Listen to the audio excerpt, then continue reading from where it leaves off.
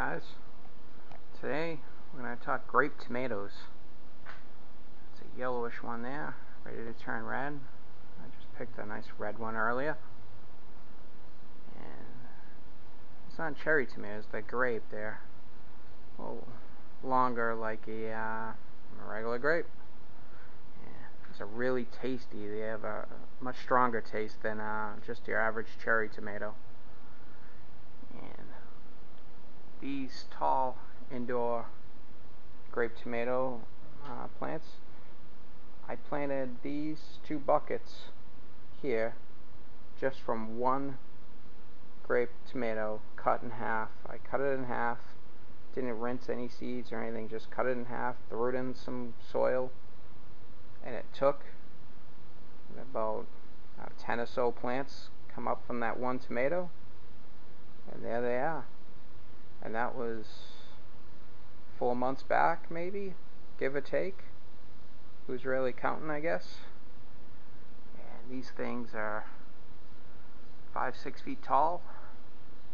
Already given me more than my share of grape tomatoes and they're still going. And I bought the grape tomatoes organic right at the produce stand.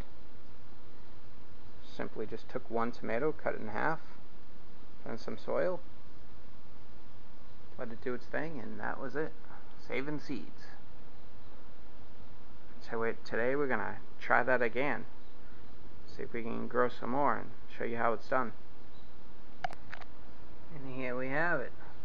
Got our 4 inch potter. Put a coffee filter in there. Simple little thing to keep the soil from falling out the bottom holes.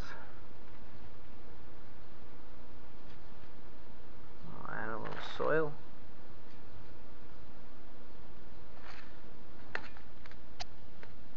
Get a little start there.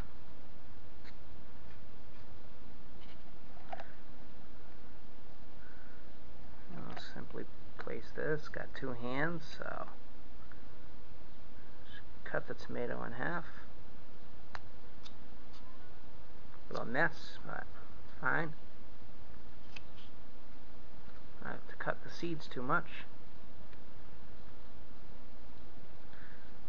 It's in there. You can see. Buried a little. There they are. Place them up.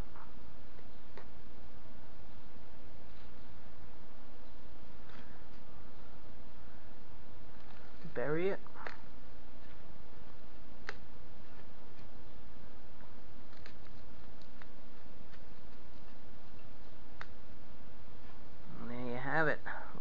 It up check back in three or four weeks see if we have any little uh, sprouts growing. Give it a try at home. See what you could do. Just saving seeds. Take one tomato cut it in half throw it in there. See if you get a surprise. Good luck gardening. Thanks for watching.